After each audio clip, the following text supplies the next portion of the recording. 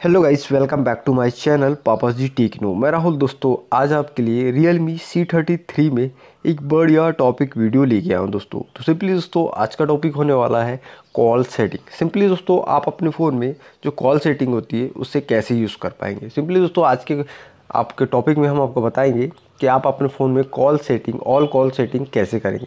जैसे कि दोस्तों, आपका कॉल वेटिंग हो गया फ्लैश लाइट हो गया, यह सभी चीज़ आप कैसे यूज़ करेंगे? तो सिंपली दोस्तों, आज के वीडियो में हम आपको दो तीन ऑप्शन के टॉपिक बताने वाले हैं। तो सिंपली दोस्तों वीडियो पे बनी रहिएगा और आप हमारे चैनल पे पहली बार विज़िट करें तो प्लीज़ दोस्तों वीडियो को ज़रूर से लाइक कीजिएगा और चैनल को सब्सक्राइब करना बिल्कुल ना भूलिए दोस्तों।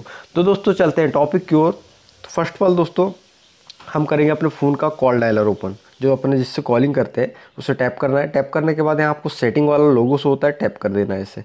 टैप करने के बाद दोस्तों सिंपली हम यहाँ अपने कॉल सेटिंग में आ गए। तो फ़र्स्ट ऑफ़ ऑल दोस्तों, हम आपको स्टार्टिंग से बताना चाहेंगे। फ़र्स्ट ऑफ़ ऑल जो आपका नंबर दिख रहा है, यह आपका जो अनलोन नंबर आता है, उससे आप ब्लैक लिस्ट में डाल सकते हैं। सेकंड है कि आप इसमें अपना मैसेज हो या फिर सभी चीज़ों को ब्लैक लिस्ट में डाल सकते हैं। आपका जैसे कि तीसरा ऑप्शन है कॉल रिकॉर्डिंग इससे आप कॉल रिकॉर्डिंग इनेबल कर सकते हैं, इसे टैप करके। जैसे कि दोस्तों, हमारे फ़ोन में पहले से इनेबल है। तो इस प्रकार से बात करते हैं दोस्तों ऑटो कॉल की।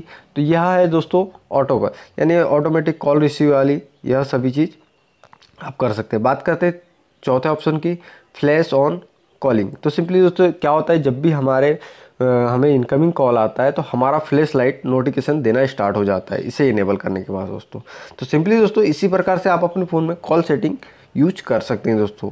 तो जैसे कि दोस्तों, उम्मीद करते हैं आपको हमारी वीडियो पसंद आई होगी। तो प्लीज़ दोस्तों वीडियो को लाइक कीजिएगा और चैनल को सब्सक्राइब करना बिल्कुल ना भूलिए दोस्तों। मिलते हैं नेक्स्ट वीडियो में। जय माता दी।